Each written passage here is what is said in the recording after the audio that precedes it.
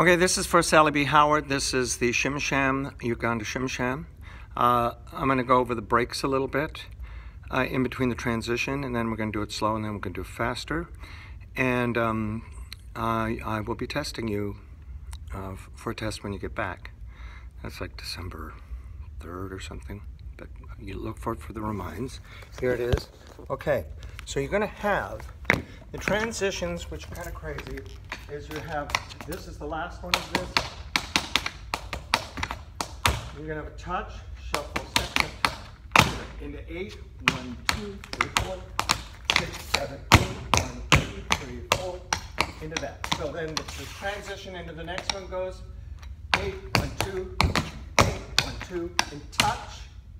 And then you have And if you can get this uh, spank, spank, touch, touch, touch, put your weight on it, touch, but touch, but touch, lap, but touch, but touch, but touch, step, and then this is a back flap. Break, one, two, three, four, five, six, seven. One, two, three, four, five, six, seven, eight. One, two, three, four, six, seven, eight. Step shuffle, same step, step shuffle, same step. Good, so let's try it with some music. Um, I'm gonna stop it here. Here it is with the music. Slow and then we'll do it faster.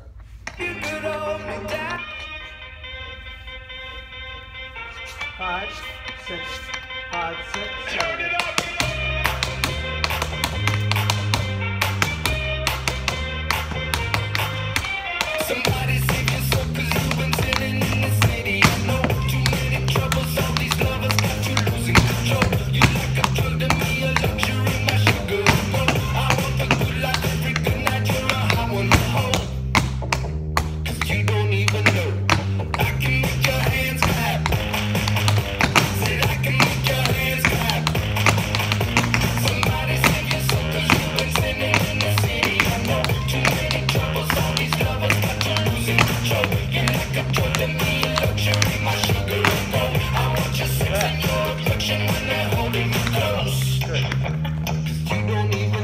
Uh, so here it is a little faster. Turn it up. Five,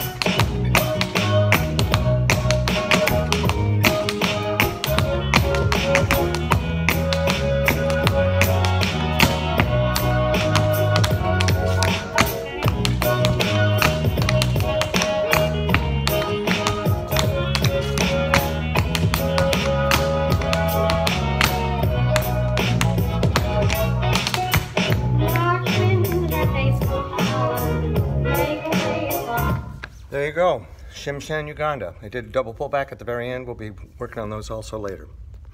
Um,